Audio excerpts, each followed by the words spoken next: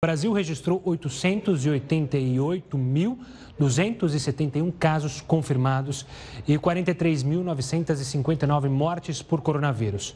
Só nas últimas 24 horas são 627 óbitos e 20.647 novos casos da doença.